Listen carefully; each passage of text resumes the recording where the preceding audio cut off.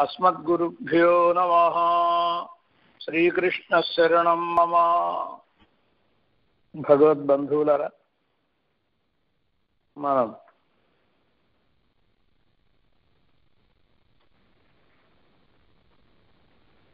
భగవద్గీతను అనుసంధానం చేసుకుంటాం. భగవద్గీతలో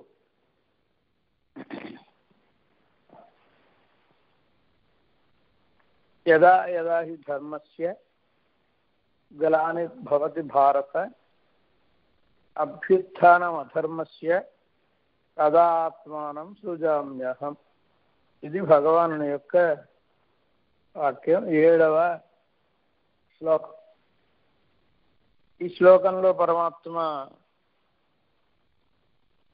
పరమాత్మను అవతరించాలంటే దానికి ఏమైనా కాల నియమం ఉన్నదా అని అర్జునుడు అడిగితే ఇలాంటి కాలంలోనే ఈ యుగంలోనే అవతరించాలి అనేటటువంటి నియమం ఏమీ లేదు. నేను అవతరించడానికి కారణం కర్మలు. వ్యవసాయ పనులను పెట్టుకుని అవి అనుభవించడం కోసమని కాదు. ఎప్పుడు ధర్మమునకు కొంచెం లోటు ఏర్పడుతుందో?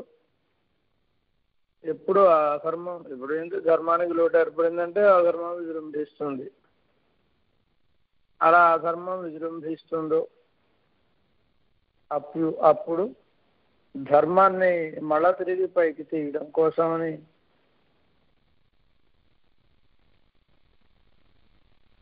అధర్మాన్ని అణతటం కోసమని అది ఆత్మానం సృజామ్యహం నన్ను నేను సృజించుకుంటూ ఉంటాను అని అర్థం. ఇక్కడ కొంచెం లోతుగా చూసినట్లయితే భగవద్గీతలో భగవానుడు వాడిన పదములకు అర్థమును చెప్పుకునేటప్పుడు భగవానుడు ఏ అభిప్రాయంతో ఆ పదమును వాడాడో ఆ అభిప్రాయంతో కదా అర్థం చెప్పుకోవాలి. శబ్దార్థ నిష్కర్షణ చేసినప్పుడు అనేకమైన వాటిని చెబుతూ అందులో శబ్దానికి అర్థాన్ని ఎలా నిర్ధారించాలి అంటే వక్త ఎలాంటి అభిప్రాయం కలిగిన వాడై ఉన్నాడో ఆ అభిప్రాయాన్ని బట్టి ఆ శబ్దానికో వాక్యానికో అర్థాన్ని చెప్పుకోవాలి అంటాడు. కావ్య ప్రకాశ్ గారు. కనుక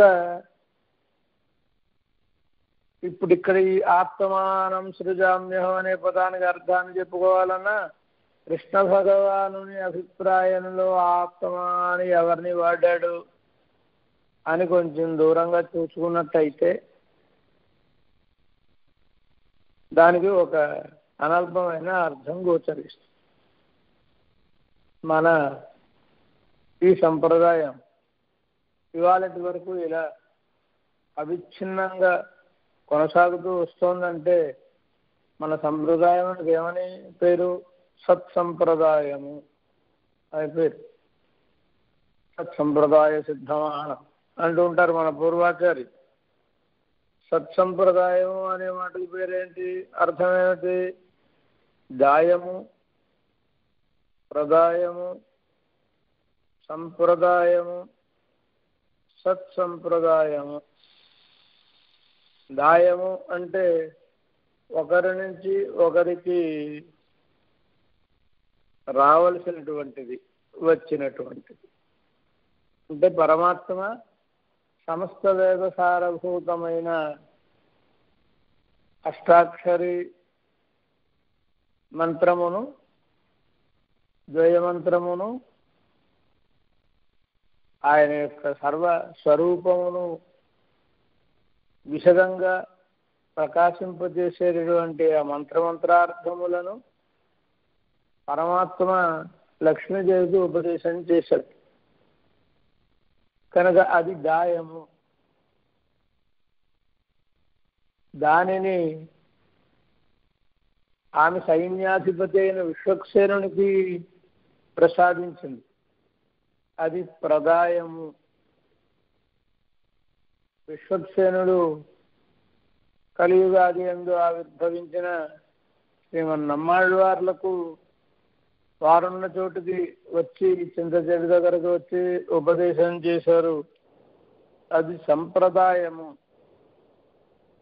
నాథము అయ్యా వారు నమ్మాళ్ళవార్లు నాథమునులకు యోగ దశలో సాక్షాత్కరించి మంత్రమంత్రార్థ విశదీకరణ రూపములైన నారాయణ దివ్య ప్రబంధంతో పాటుగా అనుగ్రహిస్తే సత్సంప్రదాయము. అది నాథ యామున యతిరాజుల నుండి మనకు అందినటువంటిది. అని కదా పెద్దలు. సత్సంప్రదాయం అంటే అర్థాన్ని అనుగ్రహిస్తారు.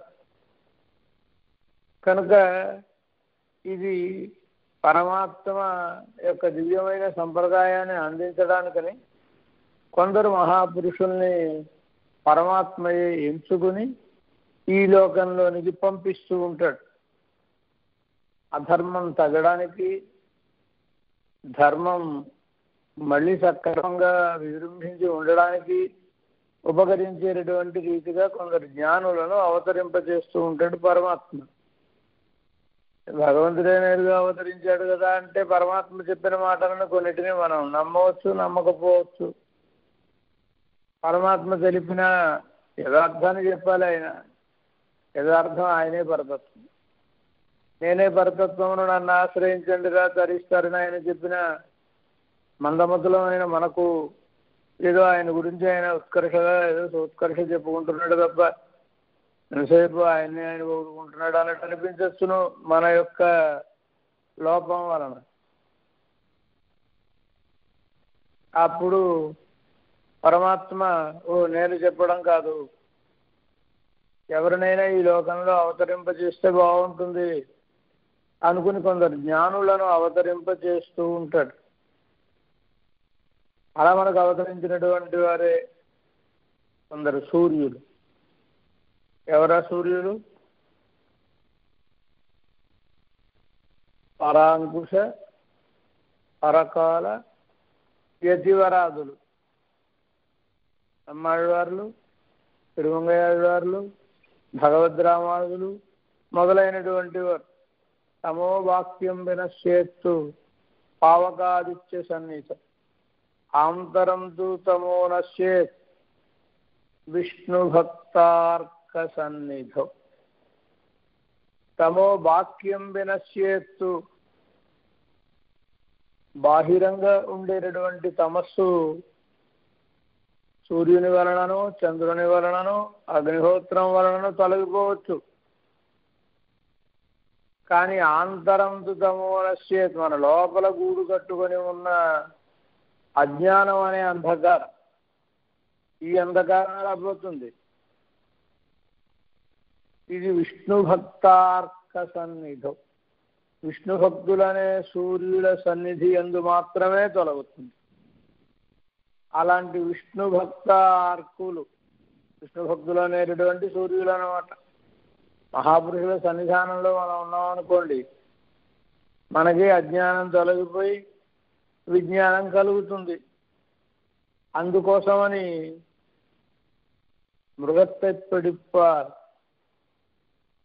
అని మన పూర్వాచార్యులు ఉదాహరణ చెప్తూ ఉంటారు. అడవిలో మృగాన్ని పట్టుకోవాలనుకునే వాళ్ళు అజాతీయమైనటువంటి మృగాన్ని అక్కడ ఏ చెట్టు దగ్గర కట్టేస్తే అది మన మృగమే కదా అని మిగతా మృగాలు అనే దగ్గరకు వస్తాయి అప్పుడు వాటిని పట్టుకోవచ్చును అని చెప్పినట్టుగా ఈ చేతనుడని అందరినీ తన వారినిగా చేసుకోవాలనుకుంటే పరమాత్మ అంటే తన ధామాన్ని బంధింపజేయాలి అనుకున్నప్పుడు తన మాటను వీళ్ళు వినరు. ఎందుచేత అంటే తను విజాతీయుడు కనుక.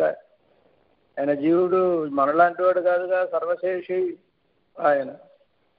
మనం శేషభూతులం. కనుక విజాతీయుడైన తాను చెప్పిన మాటను మనం వినమేమో అని సజాతీయులైన మనలాంటి వారే అయిన జీవులను శేషభూతులైనటువంటి జీవులలో ఎవరినో ఒకరిని ఎంచుకుని పరమాత్మ వారి ద్వారా ఈ లోకమును దిద్దుబాటు చేస్తాడు అని. అలాంటి మహాపురుషుల్ని పరమాత్మ ఎంతగా అభిమానిస్తాడు అంటే తమ ఆత్మగా తన ఆత్మగా భావిస్తాడు పరమాత్మ. వాళ్ళే నిజంగా అలాంటి అజ్ఞానాన్ని తొలగించగలిగినటువంటి మహానుభావులు కూడా. కనుకనే ఒక ఆచార్య హృదయకారుడు ఒక అందమైన సూత్రాన్ని మనకు అనుగ్రహిస్తాడు ఏమిటా సూత్రం రామదివాకర ఆదిత్య రామదివాకర அச்சுத பானுக்களுக்கு போகாத உள்ளிருள் நீங்கி விகசியாத போதி கமலவன் நெஞ்சம் விகசித்தது அகுலபாஷண அகுலபூஷண భాస్కరదోదయత్తిలే ఇరే అని అంటే అర్థం ఏమిటి సూర్య భగవానుడు ఈ లోకంలో ఉదయిస్తే చీకటి తొలగిపోతుంది చీకటి చీల్చబడిపోతుంది ఒక కవి చమత్కారంగా చెప్తాడు పొద్దున్నే కాకులు కావు కావు అని ఎందుకంటే అరుస్తూ ఉంటాయి ఆ చెట్ల నుంచి లేచి బయటకు పెడుతూ కావు కావు అని అరుస్తూ ఉంటాయి కదా. ఎందుకోసమనండి తిమిరారి తమోహంతి. తిమిరారి సూర్యుడెవరు? చీకటినికి శత్రువు చీకటిని తొలగించేటటువంటి వాడు. అదిగో సూర్యుడు ఉదయిస్తున్నాడు. అంతవరకు గాఢాంధకారంగా ఉన్నటువంటి ప్రాంతం అంతా ఆ చీకటులన్నీ వైదొలగిపోతున్నాయి. అంటే సూర్యకిరణములు చీకటిని చీలుస్తున్నాయి. ఇది చూడగానే కాకులకు భయం వేస్తుంది. అమ్మో చీకటి నల్లగా ఉంటుంది. మనం నల్లగా ఉంటాం. చీకటి అనుకుని మనని కూడా కిరణాలు తీసేస్తే అని భయం వేసి వయం కాకాహ వయం కాకాహ అని రటంతీవ వాయసాహ కాకులు మేము కాకులం మేము కాకులం మేము చీకటి కాదు. అని అరుస్తున్నాయేమోనండి. సూర్యోదయ సమయంలో రాకులు ఎందుకు ఎలా అరుస్తున్నాయంటే వాడికి భయం వేసి చీకటిని చీల్చుకుంటే మమ్మల్ని చీల్చేస్తాడేమో బాబు. మేము చీకట్లం కాదు కాకులం అని అంటారు కదా. అలా సూర్యభగవానుడు ఉదయిస్తే చీకటులన్నీ నశిస్తాయి. ఇది సూర్యభగవానుడు చేసే పని. కానీ మన లోపల బోలెడంత చీకటి ఉంది. ఇది అజ్ఞానం అనేటటువంటి అంధకారం. ఈ అజ్ఞానం అనే అంధకారాన్ని ఆ సూర్య భగవానుడి ఉదయం వలన ఏమైనా తొలగించగలుగుతాడా ఆయన? ఓహో ఈ అజ్ఞానం అనే అంధకారం అలాగే ఉంటుంది మన లోపల. కనుక ఆదిత్య రామదివాకర తర్వాత రామచంద్ర స్వామి సూర్యవంశంలో అవతరించాడు కదండి. ఎవరైనా? రామదివాకర రామచంద్రుడనే సూర్యుడు. ఎవరు చెప్తారు ఈ మాట? ఆంజనేయ స్వామి తోటి సీతమ్మ చెప్తుంది కప్పే రామదివాకర. శత్రురక్షోమయం దోయం ఉపదోషం నైష్యతి అంటుంది. రామదివాకర రామచంద్రుడనే సూర్యుడు. ఎవరు సూర్యుడు? సూర్యుడు సూర్యుడా? రామచంద్రుడు సూర్యుడా? జనకర కల కులకమల దివాకర. వేదాంత దేశులు రఘువీర గద్యంలో రామచంద్ర స్వామిని వర్ణిస్తూ దినకర కులకమల దివాకర అంటారు. దినకరుడు. ప్రకటన చేసేవాడు అంటే సూర్య భగవానుడు దినకర కులం సూర్య భగవానుని కులం దినకర కుల కమలం. సూర్య భగవానుని కులం అనే కమలం. దినకర కుల కమల దివాకర. ఆ కమలాన్ని వికసింపజేసే సూర్యుడు రామచంద్ర స్వామి అని. అంటే సూర్యోదయంతో కదా కమలం వికసిస్తుంది. కమలానికి ఆనందం కలుగుతుంది. వికసిస్తే కదా కమలం మనకి సౌందర్యాన్ని అంతటిని చూపిస్తూ ఉంటుంది. ఆ రీతిగానే సూర్యకులం అనేది ఎప్పుడు అది వికసించింది ఎప్పుడు కీర్తి కలిగింది కాంతి కలిగిందంటే రామచంద్ర స్వామి అవతరించడం వలన. లేకపోతే కాళిదాసు రఘువంశమనే కావ్యం రాసేవాడా? తర్వాత తర్వాత కవులందరూ ఆ వంశంలో గురించి రాసేవారా?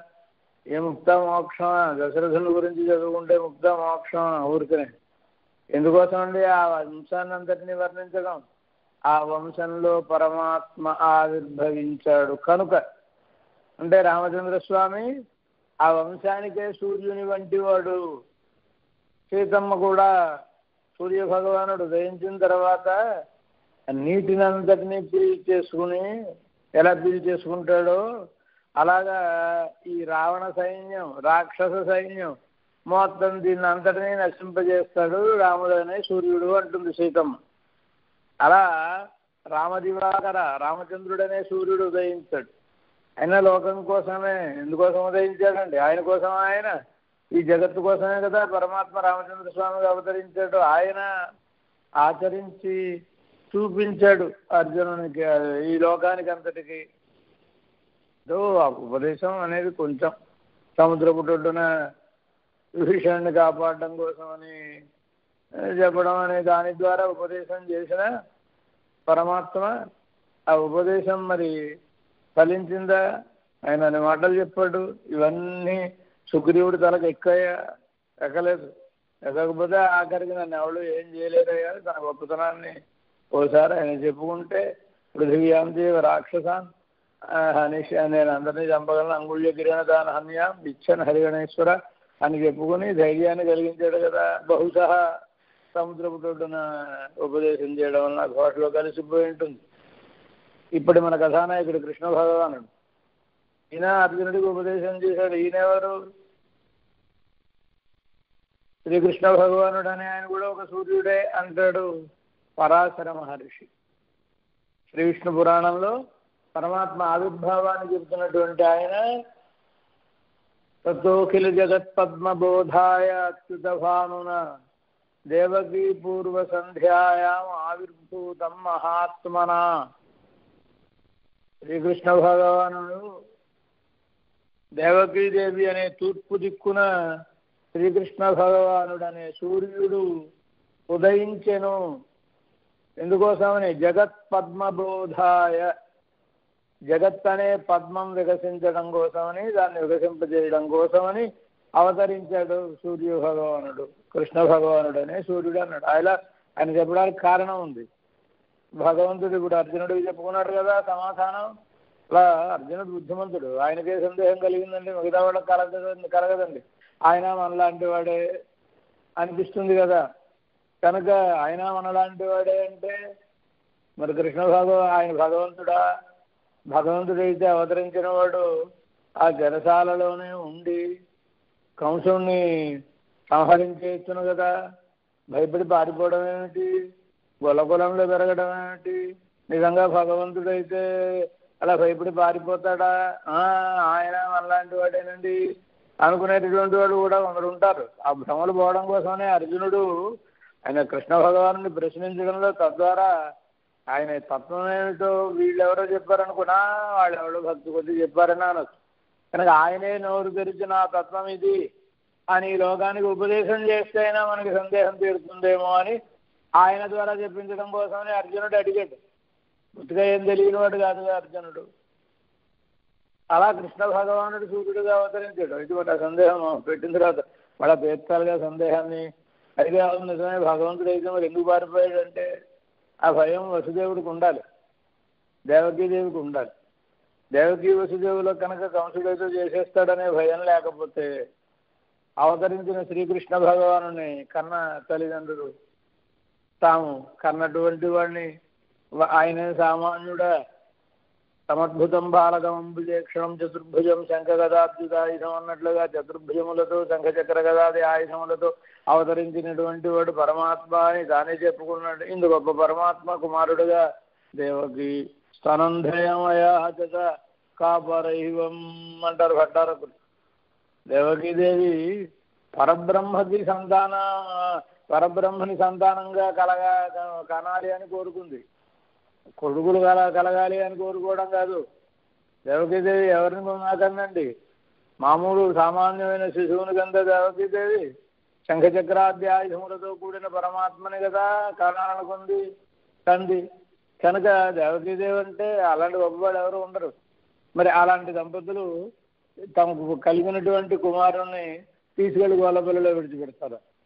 విడిచిపెట్టడానికి అంగీకరిస్తుందా దేవకిది కానీ దేవకీదేవి అంగీకరించింది వసుదేవుడే తీసుకుని వెళ్ళి పడుకోబెట్టి కారణం ఏమిటి? కంసుడి భయం అనేది ఒకటి ఉండబట్టి వాళ్ళకి ఈ కంసుని వలన ఏమైనా ప్రమాదం కలుగుతుందో బ్రతికి పట్టగడితే చాలు మా పిల్లవాడని తీసుకుని వెళ్ళి నందుని యొక్క ఇంట్లో దిగబెట్టి వచ్చారు కదండి. ఆ భయమే వాళ్ళకు ఉండకపోతే కృష్ణ భగవానుడు దేవకి యశోదలను మరి వాళ్ళు ఎప్పుడూ కోరుకున్నటువంటి వాళ్ళు పరమాత్మని ఆయన యొక్క బాల్య లీలలను అనుభవించాలి అని వాళ్ళ కోరిక ఎలా తీరుతుంది? అందుకోసమని పరమాత్మ అవతరించాడు. ఇది అసలు తత్వం. పరమాత్మ అలా అవతరించినా ఆయనకేమి ఈ లోకంలో ఉండేటటువంటి దోషములేవి అంటవు పరమాత్మకి అని కదా. అది మహర్షికి భయం. పుట్టాడు అని చెప్పగానే ఆ మనము పుట్టాం ఆయన పుట్టాడు. మనలాంటి వాడే ఆయనేమో. అని ఎక్కడ మనం చులకన చేస్తాము అని పరాశర మహర్షి విష్ణు పురాణంలో శ్రీకృష్ణ అవతారాన్ని వర్ణించినప్పుడు ఇదిగో ఈ శ్లోకాన్ని చెప్తాను. ఆయన ఎలాంటి వాడు అంటే శ్రీకృష్ణ భగవానుడు అనే సూర్యుడు దేవగీదేవి అనే తూర్పు దిక్కున ఈ జగత్ అనే కమలం వికసించడం కోసమని అవతరించెను ఆవిర్భవించను. అది కూడా మళ్ళా పుట్టెను అనకుండా ఆవిర్భూతం అన్నాడు. ఆవిర్భవించెను. ఏమిటి ఆవిర్భవించెను అంటే అర్థం. సూర్య భగవాను మళ్ళా ఉదాహరణగా ఎందుకు చెప్పాడు ఆయన? సూర్య భగవానుడు తూర్పు దిక్కున ఉదయిస్తున్నాడంటే ఆ తూర్పు దిక్కున ఉన్న మట్టి బురద ఏమైనా సూర్యునికి అంటుతున్నాయా? అనడం లేదు కదా. అలాగే పరమాత్మ ఈ లోకంలో అవతరిస్తున్నాడంటే ఆయనకు కూడా ఏమైనా మట్టి బురద ఈ లోకంలో ఉండే దోషములు ఏమైనా అంటుతాయా?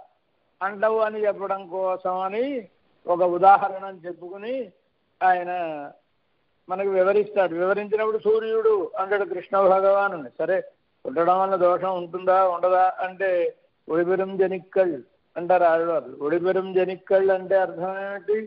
శేణయిలిట్ట మాణిక్యం పోలే ఒడిపెరం జనిక్కల్. శేణయిలిట్ట మాణిక్యం పోలే శేణయిలిట్ట మాణిక్యం పోలే అంటే వజ్రం. సానబడిన వజ్రం. దాన్ని సానబడితేనే దాని కాంతి ఆ పలకలేవో అదేదో కట్ చేస్తే సానబడితే దాని కాంతి ప్రకాశిస్తుంది లోకానికి అంతటికి. అలాగే పరమాత్మ అవతరిస్తున్న కొద్దీ అవతరిస్తున్న కొద్దీ పరమాత్మ యొక్క కాంతి పెరుగుతూ ఉంటుంది. మనం పుడుతున్న కొద్దీ పుడుతున్న కొద్దీ కాంతి తరగచ్చునుగా పరమాత్మకు అవతరిస్తున్న కొద్దీ అవతరిస్తున్న కొద్దీ కాంతి పెరుగుతూ ఉంటుంది. కారణం ఏంటి మనం పుట్టాం అస్సలు మానవుల వలెనే ప్రవర్తించలేదు. తత్ప్రయోజనంగా తర్వాత జన్మే వస్తుంది. ఇప్పుడు ఏమన్నా సక్రమంగా మనం ఉంటే కదా సక్రమంగా లేకపోతే ఇంతకంటే తక్కువ జన్మ ఏదో వస్తుంది. అప్పుడు సక్రమంగా మరి ఆ జన్మలో పుట్టడం ఆ సంస్కారం వాటి వలన అప్పుడు సక్రమంగా ప్రవర్తించకపోతే ఇంకా తక్కువది ఇంకా తక్కువది ఇంకా తక్కువది. కనుక ఏమో భగవంతుడి అవతారాలు అనక్కర్లేదు మనం అవతారాలమే. అవతరణము అంటే దిగుతాను అర్థం. ఉన్న స్థాయి నుంచి క్రిందికి దిగడం అండి. మనం దిగుతున్నాం కదా మరి సక్రమంగా పని చేయకపోతే తర్వాత జన్మ వాటికి మానసైర్ అంత్యజాతితాం.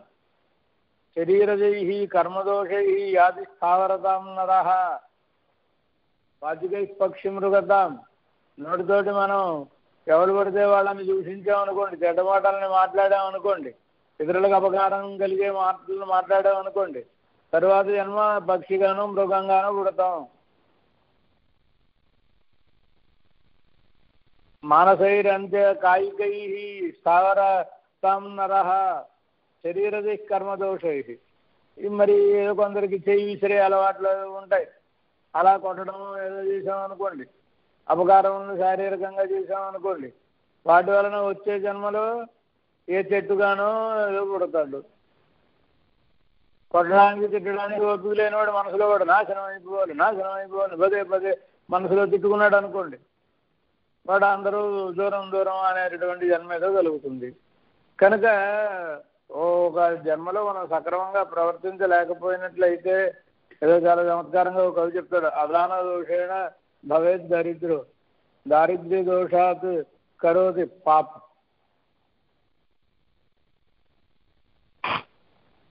ఇప్పుడు దరి దరిద్రం ఎవరికి ఉన్నప్పుడు పెట్టుకోలేదు వాడు. వాడి చేతుల్లో ఉన్నప్పుడు ఎవరికి పెట్టుకోలేదు. కనుక అర్ధాదోషేణ భవేత్ దరిద్రం. ఏమవుతుంది? దరిద్రుడు అవుతాడు తర్వాత జన్మలో. వీడు ఎప్పుడు ఎవరికి ఏం పెట్టుకోలేడు కనుక. దరిద్రుడై పుట్టిన తర్వాత దారిద్ర్య దోషేణ కరోతి పాపం. మరి ఆ దారిద్ర్యం పోవడం కోసం ఏదో పాపం చేస్తాడు. పాపం చేసుకోవడం వలన పునర్దరిద్ర మళ్ళీ దరిద్రుడు అవుతాడు మళ్ళీ పాపం ఇంకా ఇంకా ఇంకా ఇంకా ఇంకా ఇంకా క్రిందికి పోవడం అనమాట కనుక సక్రమంగా ప్రవర్తించకపోతే మరింత మరింత కాంతి తగ్గేవాళ్ళం మనం. కనుక అవతరణము అనే వాటికి దిగుతాను కదా అర్థం. పరమాత్మ అవతారములు అంటే అర్థం ఏంటి పరమాత్మ దిగడం అంటే అర్థం ఏంటి పరమాత్మకి దిగాల్సిన అవసరం ఏం లేదు ఎక్కడ పడితే అక్కడే వ్యాపించి ఉండేవాడు కదండి పరమాత్మ మన సంప్రదాయంలో దిగడం అంటే ఒక ఉన్నతమైన స్థాయి నుండి క్రింది స్థాయికి దిగుతా అని అర్థం ఎవరికంటికి కనబడని స్థాయి నుండి கற்கிலி உன்னை காணுவார் அருளாய் ஆகுத்தா కన్ననే నమ్మవారు కట్కిలి కంటికి కానరాని వాడా కంటికి కనబడకపోవడం అంటే లేకపోవడం వల్ల కనబడకపోవడం కాదు. ఆయనను చూసే సామర్థ్యం ఈ కంటికి లేకపోవడం వలన ఈ కంటికి కనబడేటటువంటి వాడు కాడు పరమాత్మ. నచక్షుషా పశ్యతి కశ్చనైన ఈ నేత్రముతో ఎవడు పరమాత్మను చూడగాలడు అలాంటి పరమాత్మ అందరి కంటికి కనబడేవాడయ్యాడు కదా. సకల మానవ నేత్ర పాత్రం అయ్యాడు కదా. సకల మనుజ నయనతాం విషయతాం నయన విషయతాం గత. సకల మనుజ నయన విషయతాం గత అంటారు భగవద్రామన్ అందరికంటికి విషయం అయ్యాడు కనబడేటటువంటి వాడు అయ్యాడు పరమాత్మ. కనుక ఎవరికంటికి కనబడని దశ నుంచి అందరికంటికి కనబడే దశకు దిగుటకే అవతారము అని పేరు. అవతారం అంటే సర్వవ్యాపకుడు పరమాత్మ.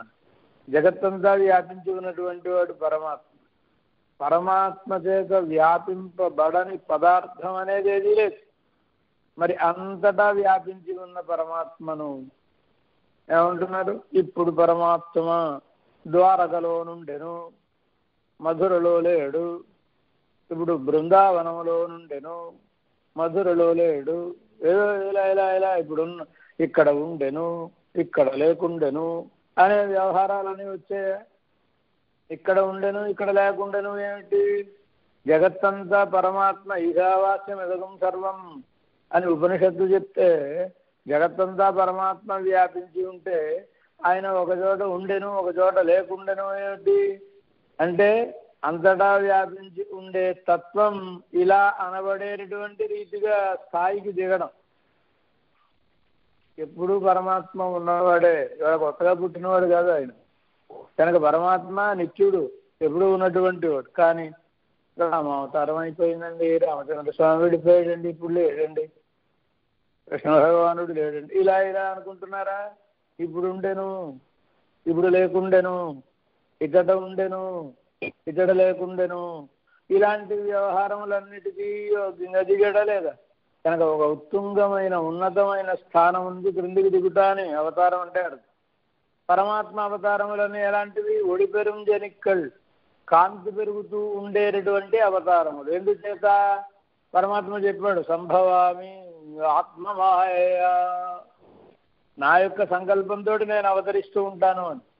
కనుక అంతకు మునుపు అవతారములను అవతారం అయిపోయిన తర్వాత పరమాత్మ ఒకసారి సింహావలోకనం చేసుకుంటూ ఉంటాడు. ఈ అవతారములో మనం అనుకున్న స్థాయిలో లోకమునకంతటికి ఉపకారము చేయగలిగితిమా?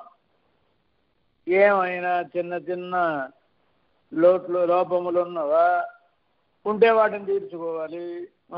రామావతారం ఇచ్చాడు పరమాత్మ. అయిపోయింది.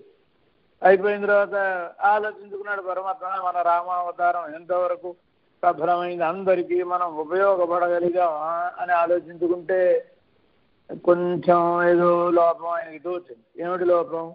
నేను చక్రవర్తి తనూజునిగా. చక్రవర్తి తిరుమహన్ అంటారు కదా రామచంద్ర స్వామి అలా అవతరించాను నేను ఈ లోకంలో. అవతరించడం వలన ఏమైంది? నేను ఎప్పుడైనా బయటకు వెళ్ళినప్పుడు వాళ్ళు వీళ్ళు అని చూడకుండా దసరా చక్రవర్తికి రామచంద్ర స్వామికి తేడా ఏమిటి? దశరథ చక్రవర్తి దగ్గరికి వెళ్ళాలి. ఎవరైనా ఏదైనా క- కష్టమో సుఖమో వస్తే మహారాజు గారి దగ్గరికి వెళ్ళి చెప్పుకోవాలి తీరుస్తాడు. చాలా ధర్మ పరిపాలన చేసినవాడు. చిరన్నువై ధర్మేణ పృథివీ అనుశాసతి అంటాడు. అనుశాసనం. శాసనం వేరు అనుశాసనం వేరు. ఏంటి అనుశాసనం అంటే? అనుసరించి శాసించుట. ప్రజలను అనుసరించి శాసించుట. చేసినటువంటి వాడు దశరథ చక్రవర్తి నిజమే. కానీ మహారాజు గారి దగ్గరికి వెళ్ళాలంటే ఈ రైతు పాప మరొకళ్ళు మరొకళ్ళు ఎవరో ఈయన ఏదో వాళ్ళ దగ్గర అపాయింట్మెంట్లు అన్నీ తీసుకుని వెళ్ళాలి. పెడితే ఆయన చాలా బాగా మాట్లాడతాడు కోరికలు తీరుస్తాడు. రామచంద్ర స్వామి తానే వాళ్ళ ఇంటికి పెడతాడు. ఆయనే అందరి ఇంటికి వచ్చి అందరిని పలకరిస్తారా బాగున్నారా? ఇక్కడ మీ అబ్బాయి ఏం చదువుతున్నాడు? ఇలాంటివన్నీ అడిగేటప్పటికీ ఆ ఇంట్లో ఉన్న వాళ్ళందరూ రామచంద్ర స్వామిని దర్శించే ఆనంది. అక్కడైతే ఈ మగాయన మాత్రమే సభాభవనానికి వెళ్ళి రాజుగారిని దర్శించేవారు ఇక్కడైతే రామచంద్ర స్వామిని ఇంటిలో పాది దర్శిస్తారు. ఎంత బాగా అందరితో కలిసిమెలిసిపోయి ఉంటాడు? అన్నీ బాగున్నాయి. కానీ ఎప్పుడైనా ఎవడైనా అవసరం అయ్యి నా దగ్గరికి వచ్చి మొరబెట్టుకోవాలనుకుంటే అంత తేలిక నా దగ్గరకు రావడం. అంటే ఆ మధ్యలో బోళ్ళన్ని అంతరాలు ఉంటాయి. ఈ అంతరాలలో ఇప్పుడు మనం ఎవడైనా పెద్దవాళ్ళు అనుకునే వాళ్ళ దగ్గరికి పెడితే ఓ మొదటి సెక్యూరిటీ గేటు రెండో సెక్యూరిటీ గేటు ఇలా సెక్యూరిటీ గేట్లు ఉంటాయా? మరి ఆ రీతిగానే నా దగ్గరికి రావాలంటే వాళ్ళే స్క్రూటినీ చేసి ఇతను పరమాత్మ దగ్గరికి వెళ్ళడానికి మహా మహారాజు గారి దగ్గరికి వెళ్ళడానికి అవసరమా? ఇది మన స్థాయిలోనే మనం పరిష్కరించేయగలమా? మరొకటి మరొకటి ఇవన్నీ చూసి చూసి వడపోకలని అయిన తర్వాత వస్తాడు. సరే వచ్చిన తర్వాత రామచంద్ర స్వామి ఆయనతో మాట్లాడి ఆయన పని చేసి పంపించేస్తాడు అనుకోండి. కొంచెం ఇబ్బంది ఏమిటంటే చక్రవర్తిగా నేను ఉండడం వలన అందరూ ఎప్పుడు పడితే అప్పుడు నా దగ్గరికి రాలేకపోవడం అనేటటువంటిది వచ్చిన లోపం ఉంది.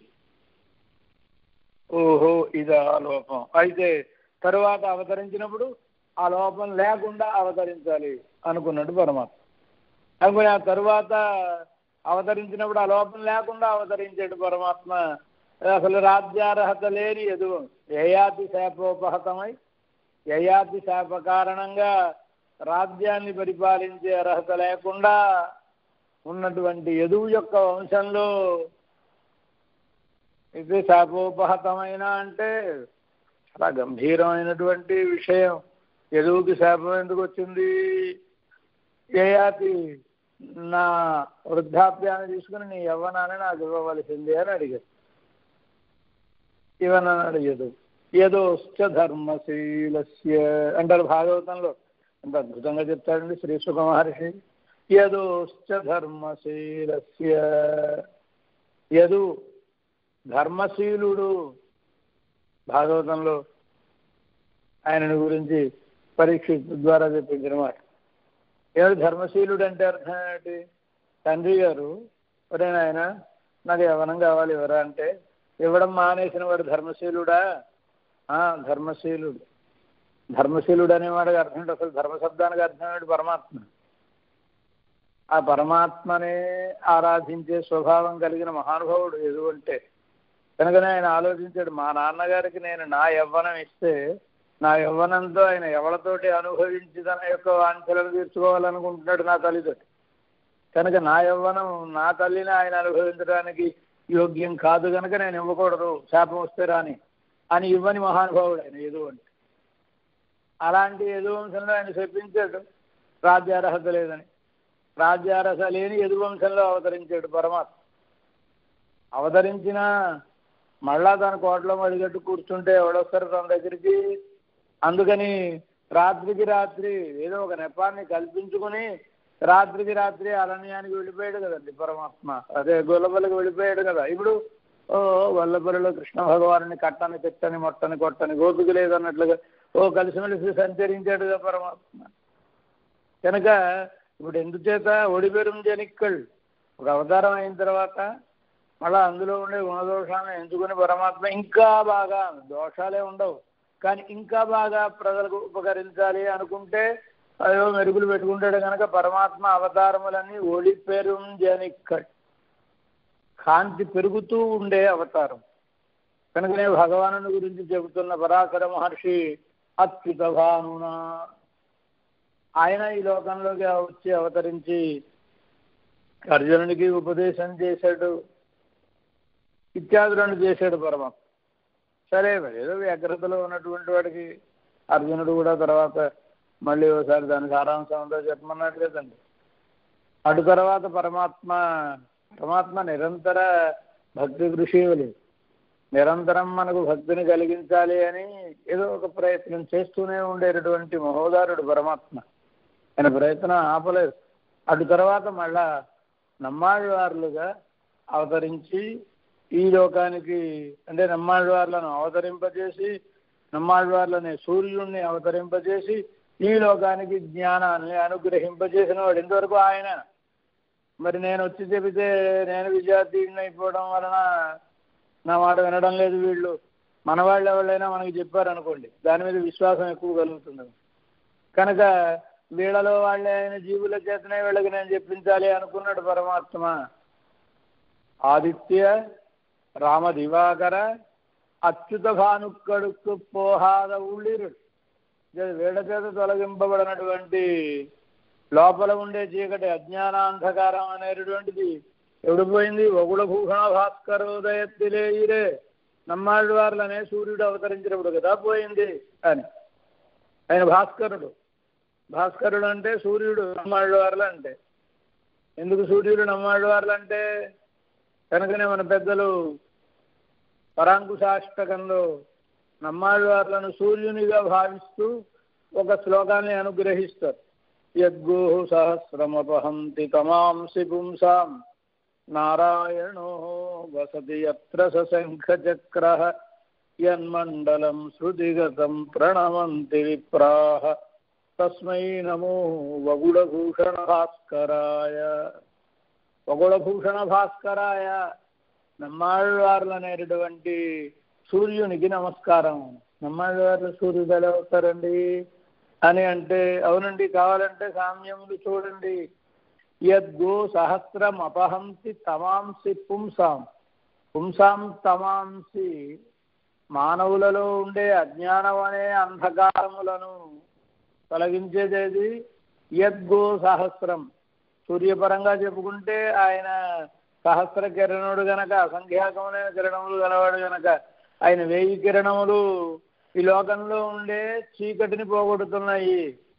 మా నమ్మాళ్ళవార్లనే సూర్యుడు అనుగ్రహించినటువంటి గోసహస్రం.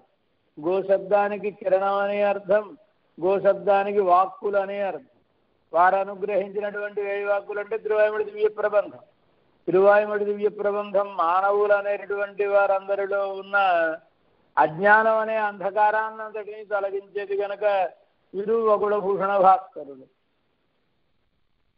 నారాయణో వసతి ఎత్ర సశంఖ చక్ర సూర్యమండలం లోపల ఏం చేసి ఉండేవాడెవరు?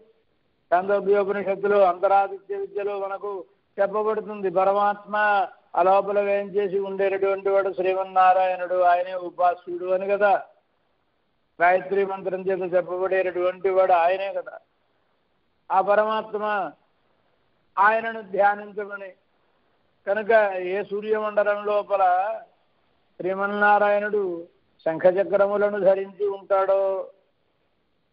అది సూర్యభగవానుడు మరి నమ్మాడు వారు సూర్యుడు అంటే ఈయనలో కూడా శంఖచక్రములను ధరించి ఉంటాడా? ఆహా.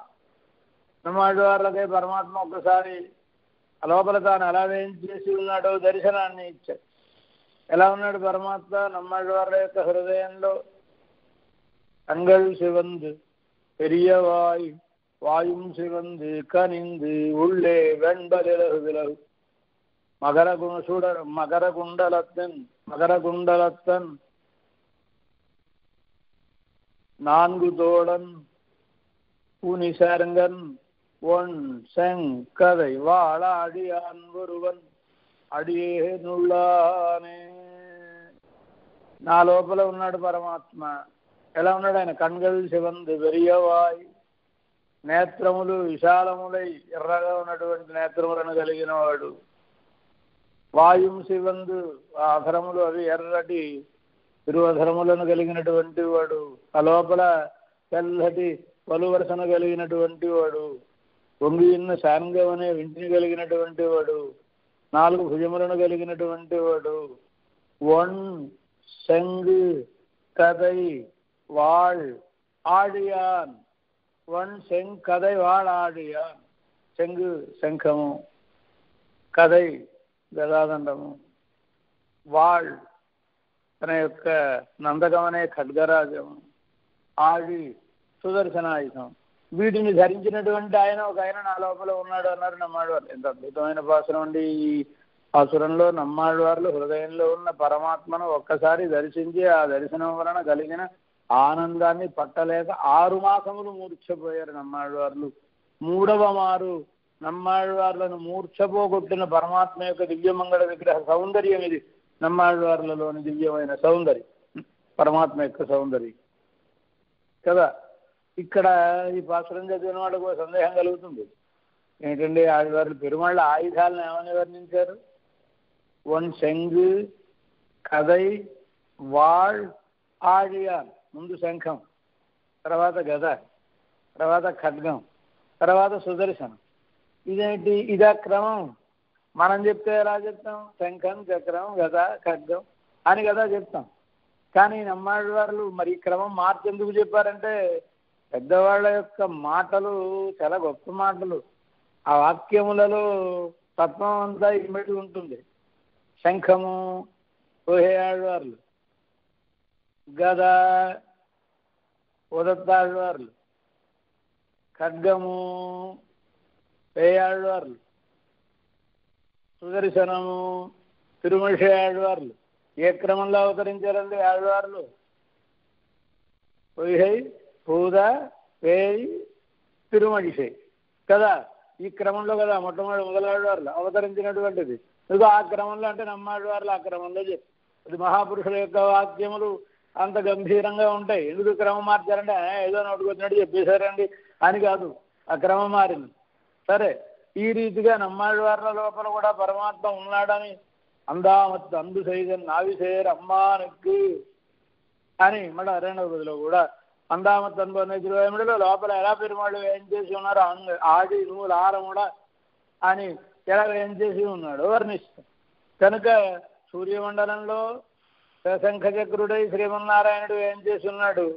నమ్మాళ్ళవారిలోనూ ఉన్నాడు కనుక ఎన్మండలం నెక్స్ట్ తర్వాత శృతిగతం ప్రణమంతి విప్రాహ. ఏ సూర్యమండలం? శృతిగతం వేదములలో వర్ణింపబడిందో?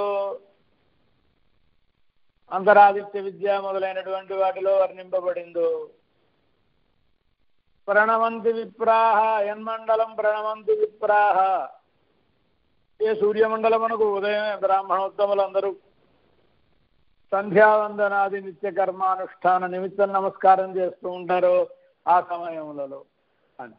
నమ్మాళ్ళవారు ఎన్మండలం శృతిగతం ప్రణవంతి విప్రాహ. ఏ నమ్మాళ్ళవార్లు అవతరించినటువంటి మండలం అంటే వారి అవతరించినటువంటి దివ్యదేశం అన్నమాట. ఆ దివ్యదేశం శృతిగతం చెవిలో పడినంతనే ప్రణవంతి విప్రాహ విశేషమైన జ్ఞానం కలిగిన వారందరూ నమస్కరిస్తారు. అంటే తిరువాయుముడి సేవాకారం చేసేటప్పుడు ఒక నియమం ఏమిటి నియమం తిరువాయుముడి సేవాకాలం చేసినా అధ్యయనం చేసినా ఏమిటి నియమం పదకొండవ పాసురం అంటే పది పదులు ఒక్కొక్క పదిలో మళ్ళా పది తిరువాయుముడులు ప్రతి తిరువాయుముడిలో పదకొండు పాసురములు ఆ పదకొండవ పాసురంలో కురుహూర్ అనే దివ్యదేశం పేరు వస్తుంది. అంటే కురుహూర్ అనే దివ్యదేశానికి నాథులైన కురుహూర్ అనే దివ్యదేశంలో అవతరించిన కురుహూర్ అనేది విదేశంలో ఏం చేసి ఉండే అని నమ్మాడు వారిని గురించి వర్ణిస్తూ వారు అవతరించినటువంటి వారు ఏం చేసి ఉండేటటువంటి దివ్యదేశం అది. కనుక ఎన్మండలం ఏమానమ్మాడ్వార యొక్క దివ్య స్థలమైనటువంటి తిరుక్కురుహూర్ అనేది శృతిగతం చెవిలో పడినంతనే ప్రణమంతి విప్రాహ విశేష జ్ఞానం కలిగిన వారందరూ నమస్కరిస్తూ ఉంటారు. అట్లాంటి సూర్య భగవానుని లాంటి వారు నమ్మాళ్ళు వారు అని నమ్మాళ్ళు సూర్య భగవానుడితో పోల్చి అనుసంధిస్తారు కదా. ఆ రీతిగా వగుడభూషణ భాస్కరోదయత్తిలేయిరే ఎందుకోసమని ఇంత విషయం చెప్పుకున్నాం మనం అంటే పరమాత్మ భగవద్గీతలో ఈ శ్లోకంలో తద్ ఆత్మానం సృజామ్యహం అంది. ఆత్మను నేను సృజిస్తూ ఉంటాను అన్న ఎవరు ఆ ఆత్మ అంటే పరమాత్మ? ఆత్మ అన్న మాటకు అర్థం ఏం చెప్పుకోవాలి? పరమాత్మ అభిప్రాయంలో ఆత్మ ఎవరు? ఆత్మతో ఎవరిని తెలిపాడు పరమాత్మ అని. విశ్వామిత్ర మహర్షి దశరథ చక్రవర్తి దగ్గరికి వెళ్ళినప్పుడు అహం వేద్మి మహాత్మానం అని రామచంద్రుణ్ణి మహాత్మ అన్నాడు. కానీ పరమాత్మ ఒక గొప్ప భక్తి విశేషాన్ని కలిగిన వారిని స మహాత్మ సుదుర్లభ అని. భగవంతుణ్ణి మహాత్మ అన్నారు మహర్షులు ఆ భగవానుడే మహాత్మ అన్నాడు కొందరు భాగవతోత్తములు. ఎవరా భాగవతోత్తములు? ఎలాంటి వాళ్ళు? వాసుదేవ సర్వమితి స మహాత్మా సుదుర్లభ. వాసుదేవుడే సర్వము అనేటువంటి మహాత్మ. ఆత్మ అనగానే ఏ సామాన్యమైన ఆత్మ లాంటిది అనుకోకూడదు. ఆత్మ అంటే ఎవరు? పరమాత్మ ఒక మాట చెప్పాడు. జ్ఞానీది ఆత్మ ఇవమే మతం. నన్ను అడిగేవాళ్ళు సుకృతులైనటువంటి వాళ్ళు నాలుగు తగల వాళ్ళు ఉంటారు. ఆర్తో జిజ్ఞాసుడు అర్థార్థి జ్ఞానీచ భరతర్షభ ఆర్తుడని జిజ్ఞాసు అని అర్ధార్థి అని జ్ఞాని అని నలుగురు ఉంటారు. అందులో జ్ఞాని అంటే నన్నే కోరుకునేవాడు. ఆ శ్లోకం దగ్గర మనం విధంగా చెప్పుకోవచ్చు. కనుక జ్ఞాని అంటే నన్నే కోరుకునేటటువంటి వాడు. కనుకనే పరమాత్మ నలుగురు ఒకే నలుగురిని ఒకే గాడిని కట్టేస్తావేమో నువ్వు? అలా కట్టకుసుమా నలుగురిలో తేడా ఉంది. ఆ చివర ఆయన ఉన్నాడే. ఆయన చాలా దొడ్డవాడని చెప్పడం కోసం కోసమని జ్ఞాని తు అని మళ్ళా తు అనే అక్షరాన్ని వేసి ఈయన మిగతా వాడి కంటే వేరువాడుతనం కలిగిన వాడు ఎవరైనా ఆత్మైవమే మతం. నాకు ఆత్మ అన్నాడు పరమాత్మ కనుక పరమాత్మకి ఆత్మ ఎవరు? జ్ఞాని. ఎవరు అజ్ఞాని అంటే? వాసుదేవ సర్వమితి. పరమాత్మయే సమస్తము అనేటటువంటి జ్ఞానం కలిగినవాడు. పరమాత్మయే సమస్తం అంటే ధారక పోషక భోగ్యములన్నీ. నాకు ధారకం నాకు పోషకం నాకు భోగ్యం. అంతా పరమాత్మే. మమ సర్వం వాసుదేవ ఏవ నాకు సంబంధించినటువంటి లోకంలో జనుడు నీళ్ళు తాగకపోతే ఎలా ప్రాణాలను నిలబెట్టుకోలేరు? భోజనం చేయకపోతే ఎలా ఓపికగా ఉండలేకపోరు? ఉండలేరు. ఏ రీతిగా అయితే భోగ్య పదార్థాన్ని భుజించ భుజించకపోతే ఆనందంగా ఉండలేరు. ఆ రీతిగా నన్ను స్మరించుటనే ధారకముగా నన్ను అనుభవించుటనే పోషకముగా నన్ను అనుభవించుటనే ఆనందముగా భావించేటటువంటి వారు ఎవరో జ్ఞానులు. నిమ్మాళ్ళ వారు అలా పదహారేళ్ళు గడు తెరవకుండా ఉన్నారంటే చింత చెట్టు దగ్గర ఉన్నారంటే నమ్మాడివారుల యొక్క దివ్యమైన అనుభవం ఎలాంటి అనుభవం? నమ్మాడివారులు ఎవరిని అనుభవించారు? పరమాత్మను అనుభవించారు. కనుకనే పరమాత్మని అనుభవించే నమ్మాళ్ళవార్లు మనం చూసుకుంటాం కదండి ఫోటోల్లో సరే ఏమండి మీరు పదహారేళ్ళ బట్టి ఏం పుచ్చుకోకుండా ఇలా ఉన్నారంటే నమ్మచ్చునా ఎలా ఉన్నారు నాయన అంటే నేను ఏం పుచ్చుకోకుండా ఉన్నానని ఎవడ చెప్పారయ్యా నేను పుచ్చుకునేది నేను పుచ్చుకున్నాను అన్నారే మీరేం పుచ్చుకుంటున్నారండి నువ్వు నాయన ఎలా బతుకుతున్నావు అంటే అమ్మ మంచినీళ్ళు అండి దగ్గర ఎప్పుడు చేసా ఉంటుంది నీళ్ళు తాకపోతే ప్రాణాన్ని నిలబడవు కదా ధారకం నీళ్ళు కదా మంచినీళ్ళు తాకపోతే అమ్మో బ్రతకలేను అంటున్నావా నువ్వు పరమాత్మను స్మరించకపోతే నేను బ్రతకలేను. ఆ మంచినీళ్ళ స్థానంలో నాకు ధారకమైనటువంటి వాడు పరమాత్మ. ఎందుకు భోజనం చేస్తున్నావు? ఏదో వేదం అయితే రెండు మాటలే పరిశేచన మంత్రం చెప్పినా ఆకలేసినప్పుడల్లా మూడు గంటలకు ఒకసారి మూడు గంటలకు ఒకసారి డాక్టర్లు చెప్పారని తినేస్తున్నావు కదా. ఎందుకు తింటున్నావు నాయన ఇలాగా? మరి లేకపోతే ఒప్పుకుండదు కదండి నడవాలి కదండి పనులు చేయాలి కదండి. కదా ఆ రీతిగానే పరమాత్మను స్మరించకపోతే నాకు ఓపుకుంటుంది కనుక నాకు పోషకమైనటువంటి వాడు అన్నస్థానీయుడు అన్నస్థానీయుడైనటువంటి వాడు పరమాత్మే. మరి ఏదో తిండి తింటే గడిచిపోతుందిగా శరీరం నిలబడుతుందిగా పనులు చేయొచ్చునుగా. మళ్ళా ఇంకా ఎందుకయ్యా నీ గజ్జిడుతులు అవి అని తాంబూరాదులు అని అంటే మరి అదే ఆనందం ఉండదు కదండి. ఆ ఆనందం కలగాలంటే నాకు పరమాత్మను స్మరించకపోతే ఆనందం. కనుక ధారక పోషక భోగ్యములన్నీ నాకు పరమాత్మయే అని అనుకునేటటువంటి వారు ఎవరైతే ఉంటారో జ్ఞానులు ఆ జ్ఞానియే నాకు ఆత్మ పరమాత్మ నువ్వక్కర్లేదు నాకు. నువ్వు ఇచ్చేదేదో ఇచ్చే పట్టుకుపోతాను అనేవాళ్ళ వలన నాకేం ప్రయోజనం లేదు ఎవరి కోసం నేను ఈ లోకంలోకి వస్తున్నాను ఎవరి కోసం ఉంటున్నాను నేను ఉన్నందుకు ప్రయోజనాన్ని పొందుతున్న వాళ్ళు ఎవరు నాకు కల్పిస్తున్న వాళ్ళు ఎవరు అంటే జ్ఞానులు. కనుక జ్ఞానితో ఆత్మైవమే మతం. ఎలా అయితే లోపల ఆత్మ లేకపోతే శరీరం పడిపోతుందో అలా నన్ను నిలబెట్టి ఉంచేవాడు నువ్వే కావాలని నా కోసం అని ఉండాలి పరమాత్మ అని నా ఉనికికి సార్థక్యాన్ని కల్పించేవాడు జ్ఞాని గనక జ్ఞానియే నాకు ఆత్మ అంటాడు పరమాత్మ. కనుక ఇక్కడ ఈ శ్లోకంలో పరమాత్మ తదు ఆత్మానం సృజామ్యహం అన్నప్పుడు ఒక సొగసైన అర్థాన్ని అనుగ్రహిస్తున్నారు. పరమాత్మ తన అవతారం చాలించిన తర్వాత కూడా మరి దూరదృష్టి కలిగినటువంటి వాళ్ళు తమ తరువాత కూడా తమ పిల్లలందరికీ ఏ లోటు లేకుండా ఏవో ఫిక్స్డ్ డిపాజిట్లో ఏవో వేసుకుంటూ ఉంటారు కదండి. అలాగే భగవంతుడు కూడా తన అవతారం చాలించిన తర్వాత కూడా మనకి జ్ఞానం కొనసాగుతూ రావడం కోసమని చెప్పడం కోసమని ఎవరినో ఒకరిని చూసుకుంటూ ఉంటాడు. కనుకనే శ్రీకృష్ణ భగవానుడు నమ్మాళ్ళవార్లను చూపించి ఇంచేత సమహాత్మ సుదుర్లభ ఎంత గొప్ప మాట అండి సుదుర్లభ అంటే దుర్లభ కాదు సుదుర్లభ. అది కూడా మనకు కాదు పరమాత్మకే సుదుర్లభ. పరమాత్మ శ్రీకృష్ణావతారమును చాలించిన నలభై మూడవ రోజున ఆవిర్భవించిన వారు నమ్మాడు ఒక నలభై మూడు రోజులు ఉంటే కృష్ణ భగవానుడు నమ్మాడు వారిని చూసి ఉండేవాడు కదా. కానీ ఆయన తనకు తాను నేను ఇప్పుడు వెళ్ళిపోవాలి అని ఏదో ఒక నియమాన్ని పెట్టుకున్నాడు కనుక ఆయన వెళ్ళిపోవాలి. అంటే నేనే చూడడానికి కూడా నాకు శక్యం కాలేదు చూసారా? జ్ఞానులంటే అంత కష్టం అంత దుర్లభం. జ్ఞానులు లభించడం అనేటటువంటిది అంత దుర్లభం. నాలాంటి వాడికి అలాంటి జ్ఞానులు ఎవరో? ఉండేవాళ్ళే నూటికో కోటికో ఒక్కళ్ళు ఉంటారు. ఆ ఒక్కళ్ళను దర్శించాలంటే కూడా కష్టం. కానీ స మహాత్మ సుదుర్లభ అలాంటి మహానుభావుడు లభించడం దుర్లభం అన్నాడు కదా. కనుక ఇప్పుడు పరమాత్మ అలా చెప్పడంలో ఉద్దేశం ఏంటి ధారక పోషక భోగ్యములు మూడు నాకు పరమాత్మే అనేటటువంటి ఆ జ్ఞాని. అని. అలాంటి జ్ఞాని అంటే నమ్మాడు వారు. వారి యొక్క ఉండం క్షోరం పరుగు నీரும் ఎన్నుం విత్తలయం ఎల్లాం కన్ననెంబెరుమాన్ తినే తిండి త్రాగే నీరు వేసుకునే భోగ్య పదార్థ జాతం. అని నాకు పరమాత్మయే అన్నటువంటి వారు కదా. కనుక పరమాత్మ భగవద్గీతలోనే రాబోయేటటువంటి మనకి జ్ఞానోపదేష్ట అయినటువంటి వారిని ఒక సూచన చేసి ఆయన ఆధారాన్ని జాలిస్తే ఆ నమ్మాళ్ళ తామున్న కాలంలోనే తాము అనుభవించే కాలంలోనే కలియుం కెడుం కండు హొన్మిన్ అని నమ్మాడు భగవద్ రామానుజులు.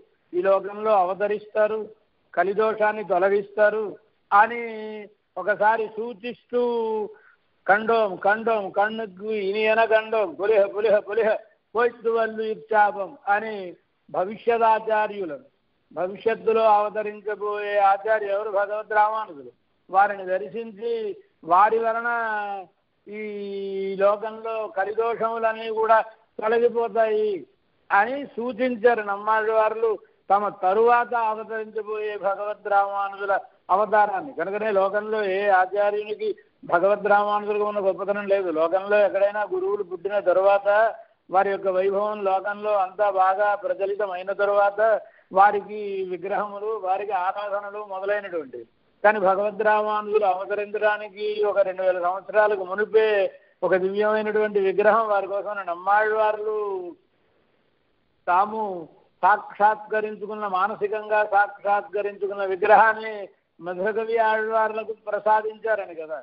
మధురకవి ఆళ్వార్లు నమ్మాళ్వార్లను చూస్తున్నారు. అయినా ఓ ఆనంద బాష్పములతో కండోం కండోం కండోం అని అనుభవిస్తున్నారు. అది చూసి అయ్యా మీరు అనుభవించేటటువంటి అనుభవం ఏదో కొంచెం మాకు కూడా చెప్పకూడదా? ఏమిటి మీరు దర్శించినటువంటి అంత ఆనందజనకమైనదంటే భవిష్యత్తులో రాబోయే వారిని మేము దర్శించామని వారిని మధురకవి ఆళ్వార్లు ఇంత గొప్ప విజ్ఞానాన్ని ఈ లోకానికి అందించిన ఆచార్యులకు వారి విగ్రహాన్ని మేము ఆరాధించుకోకపోతే ఎలాగా ఒక మూర్తిని ప్రసాదించవలసింది అంటే తామ్రపర్ణి నదీ తీర్థమును ఒక నూరు బిందెల తీర్థమును ఖాయమన్న దాన్ని బాగా కాచి కాచి కాచేటప్పటికీ ఒక విగ్రహం తయారైంది. ఆ విగ్రహాన్ని మధురకవి ఆడవార్లకు ప్రసాదిస్తే ఎలా ఉంది ఆ విగ్రహం? అంజలించిన శ్రీహస్తములతో ఉంది నమస్కారంతో ఉంది. ఇదేమిటంటే ఆచార్యులు అంటే జ్ఞానముద్రతో ఉండాలి ఇదేంటి నమస్కరించినటువంటి హస్తములతో ఉంది అంటే నాయన ఇది నేను కాదు భవిష్యత్తులో అవతరించబోయే ఆచార్యులు అని మరల తమ విగ్రహం కోసమని ఇంకొక బిందు నీళ్ళు ఎక్కువ వేసి కాచుంటే అప్పుడు తయారైనటువంటిది నమ్మాళ్వార్ల యొక్క దివ్యమైన తిరుమేని. ఈ రెండు తిరుమేనులను మనం శ్రీ ఆళ్వారి తిరునహరిలో సేవించవచ్చు భగవద్ నమ్మాళ్వార్ల యొక్క దివ్యమైన ఉత్సవమూర్తులను అలాగే భగవద్ రామానుజుల యొక్క దివ్యమైన ఉత్సవమూర్తులను. ఈ ఇరువురు మూర్తులకు తేడా మరి ఓ నేడు తేడా ఉన్నాయి కనుక ఆ పరిమాణంలో కూడా మనకి తారతమ్యం కనబడు ఈ రీతిగా అవతరించడానికి మునుపే ఒక విగ్రహము దానికి ఆరాధన ఆరంభమైనటువంటి వారు భగవద్ రామానందుల వారు. అలాంటి భవిష్యదాచార్యులు అయినటువంటి వారు తర్వాత ఈ లోకాన్నంతా దిద్దుబాటు చేసినటువంటి మహాపురుషులు తమ తరువాత మళ్ళా ఈ విజ్ఞానం ఆగిపోకుండా డెబ్బై నాలుగు తూముల ద్వారా నీటిని పంటజాలకన్నిటికీ పారించినటువంటి రీతిగా మనకు ఈ విజ్ఞానాన్నంతటినీ కూడా అందించినటువంటి వారు ఈ విషయాన్నే మనకి లక్ష్మీనాథాఖ్య సింధు షఠరిపు ప్రాప్య ప్రాప్య కారుణ్యనీరం నాథాద్రావభ్యషించదు అనేటటువంటి శ్లోకంలో మన పెద్దలు అనుగ్రహిస్తారు అవకాశాన్ని బట్టి ఎప్పుడైనా దాన్ని అనుసంధానం చేసుకోవచ్చు. కనుక భగవద్ రామానుజుల సహస్రాబ్ది సందర్భంగా మనం ఈ గీతా భాష్య కార్యక్రమాన్ని నిర్వహించుకుంటున్నాం. కనుక ఆ భగవద్ రామానుజులను నమ్మాడు వారు సూచించారు. వారే మనకందరికీ ఆచార్యులు. మిగతా ఏ ఆచార్యుల దగ్గర సమాశ్రయణమైన ప్రధానమైన ఆచార్యులు ఉద్దేశ్యులు ఉపకారకులు ఉత్తారకులు అనే ఆచార్యులు మూడు తగలవారు మూడు తగలవారిలో ఉత్తారకులు అంటే సమాశ్రయణం చేసి మనకు మరొక జన్మని ప్రసాదించినవారు. ఉపకారకులు అంటే మంత్ర మంత్రార్థములను చెప్పి మనం ఎలా ప్రవర్తించాలో తెలిపి విజ్ఞానాన్ని మనకు అనుగ్రహించినటువంటి ఆచార్యులు. ఎవరు ఏం చేసినా ఉద్దేశ్యులు ప్రధానమైన వారు భగవద్ రామానుజులు రామానుజ సంబంధమే మన ముక్తికి హేతు. కనుకనే ఏ ఆచార్యుల దగ్గర మనం సమాశ్రయణం అయినా వారి పేరు చెప్పి దాసోహం పెట్టించుకోరు. అడేం రామానుజ దాసన్? అడేం రామానుజ దాసి అని దాసోహం పెట్టడానికి రామానుజుల వారి సంబంధమే ఉత్తారకం. ఉద్దేశులు ప్రధానమైన ఆచార్యులు ఎవరు భగవద్ రామానుజులే. వారి తర్వాత కాలంలో మనం పుట్టిన వాళ్ళం కనుక వారి సంబంధమును పరంపరయా మనకు అందించినటువంటి వారు మన ఈ ఆచార్యులు. కనుక ఉద్దేశులైనటువంటి వారు భగవద్ రామానుజులు. అలాంటి వారిని సూచించినటువంటి కలియుగంలో ఆది ఎందు అవతరించినటువంటి జ్ఞాని అయిన నమ్మాడు వారులను హృదయంలో ఉంచుకుని పరమాత్మ తద్ ఆత్మానం సృజామ్యహం అని అనుగ్రహించినాడు అనేది పెద్దలు సాధించేటటువంటి విశేషమైనటువంటి అర్థం. మిగిలిన విశేషాలను రేపటి దినం మనం అనుసంధానం చేసుకుంటాం. అస్మద్గురుభ్యో నమ.